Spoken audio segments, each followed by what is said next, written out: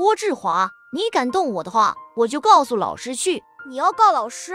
郭志华眼神一冷，直接给了对方肚子一拳。就在宋英雄买完粉碎机回来的时候，郭家的一个小白眼狼又惹出了事情。今天郭志华的学校组织学生们下乡，帮助农民们收割水稻。老师们，都中午了，快让学生们休息一下。我给你们带来了绿豆汤，真是太感谢你了。这么大老远的还给我们送绿豆汤来了。你看你说的，这明明是你们在帮我们大队干活。那大爷，你先去那边的树荫下歇歇，我去让他们休息。集合，全体集合！一众学生立刻停下手上的活，纷纷跑过来集合起来。刚才农民伯伯说了，你们都干得很卖力，没有一个人在偷懒，这个值得表扬。不过的，我希望下午的时候你们也能继续保持这种态度。下面就解散吧，休息一个小时。郭志华看到老师和陈大爷聊着天，就给自己的跟班使了个眼色，然后直奔不远处的牛棚而去。放开我！你们放开我！郭志华，你想干什么？假狗蛋！你之前不是挺嚣张的吗？还跟别人说不怕我，怎么现在知道怕了？郭志华，你敢动我的话，我就告诉老师去。你要告老师？郭志华眼神一冷，直接给了对方肚子一拳。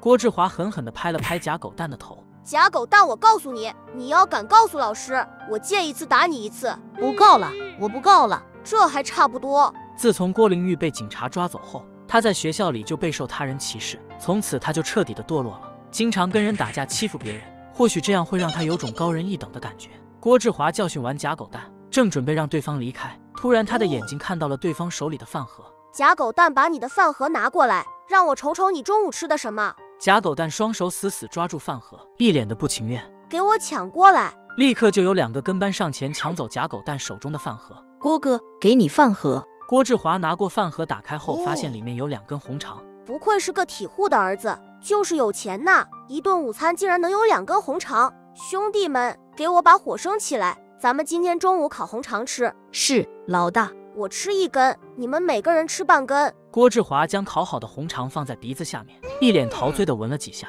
假狗蛋，谢谢你的红肠啊！说着，他便狼吞虎咽的吃了起来。假狗蛋眼中满是憎恨的盯着郭志华。就在郭志华等人吃着红肠时，假狗蛋直接暴起，一脚就踢在了一根枯树之上，刹那间火星四溅，一旁堆着的干稻草直接就燃了起来。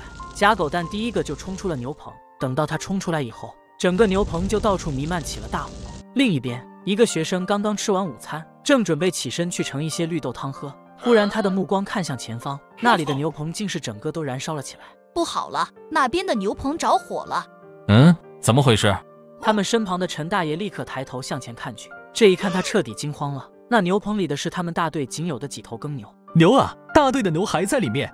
等到他们跑到近前的时候，整个牛棚都已经被烧得差不多了，里面拴着的牛也被大火烧得面目全非。陈大爷目光从牛棚里扫过，很快就看到了地面上已经融化的饭盒。赵老师，你看那饭盒，这把火肯定是你们的学生干的。我们大队还比较穷，买不起那些机械，平时种地那可全靠这些耕牛。现在牛都死了，你让我怎么跟大队的人交代啊？大爷，你放心好了，这件事既然是我们的学生造成的，那么我就一定会找到纵火者，让他的家人给你们大队一个交代的。你们刚才有没有人看到是谁偷偷跑到牛棚里的？偷偷溜回人群的假狗蛋喊道：“老师，我看到郭志华他们几个去了。”赵老师立刻目光看向众人：“郭志华，郭志华在吗？”见没人回应，郭志华，你们几个给我出来！紧接着，郭志华三个人就从门口里走了进来。火是不是你们点的？是我们点的，但是王老师，你现在立刻骑车回城里，把他们的家长给我叫过来，我倒要问问他们平时是怎么管教自己的孩子的。王老师应了一声，然后迅速夺门而出。